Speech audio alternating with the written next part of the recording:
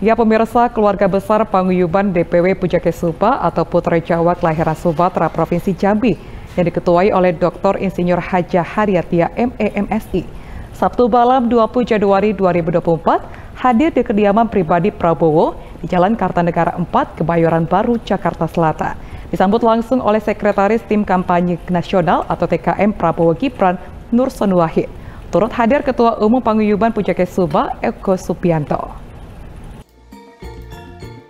Paguyuban Pujake Subah, putra Jawa kelahiran Sumatera, mendapatkan barisan untuk mendukung pasangan Capres Cawapres nomor urut 2, Prabowo Subianto, Gibran Raka Buming Raka, pada Pilpres 2024. Salah satunya DPW Pujake Suma Jambi yang diketuai oleh Dr. Insinyur Haja Haryatia MEMSI, sekaligus calon DPRD Provinsi Jambi dari Partai Demokrat nomor urut 2.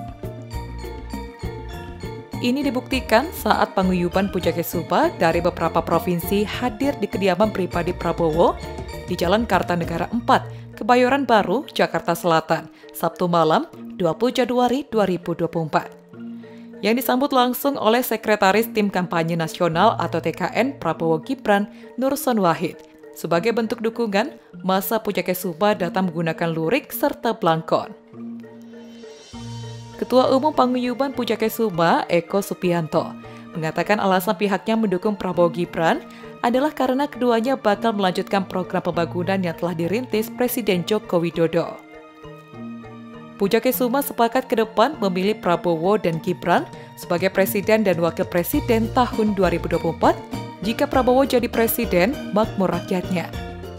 Kawan-kawan ini datang malam-malam mungkin mengganggu tapi dengan semangat berpuja kusuma untuk ketemu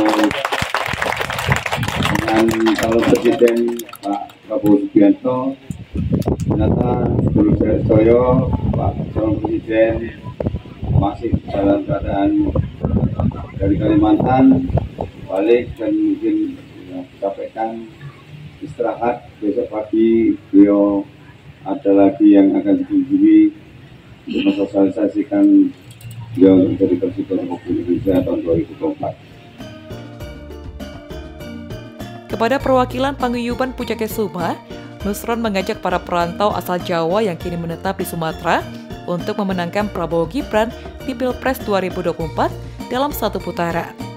Sebab pemilu satu putaran akan menghemat anggaran negara hingga 27 triliun rupiah. Tak hanya itu, bila terpilih, Nusron memastikan Prabowo Gibran juga akan melanjutkan dan meningkatkan program-program pro rakyat yang sudah dimulai Presiden Jokowi, seperti bantuan sosial program Keluarga Harapan atau Bansos PKH, Kartu Indonesia Sehat atau KIS, Kartu Indonesia Pintar atau KIP, dan KIP Kuliah, serta ditambah program makan siang dan susu gratis untuk anak-anak serta ibu hamil.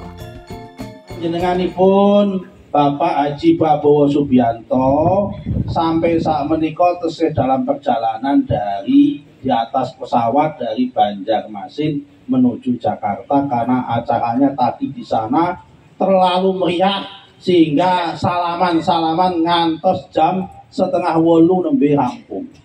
Perjalanan meriki karena sampai jam 21 tadi belum mendarat takutnya bapak-bapak sekalian kemalaman, maka kami ambil inisiatif untuk sudah dimulai saja, diwakili saja. Yang penting pun dugi daleme Pak Prabowo. Niki daleme Pak Prabowo niki kata negara nomor papat niki daleme. Sri Junia Putri, Cek TV, melaporkan.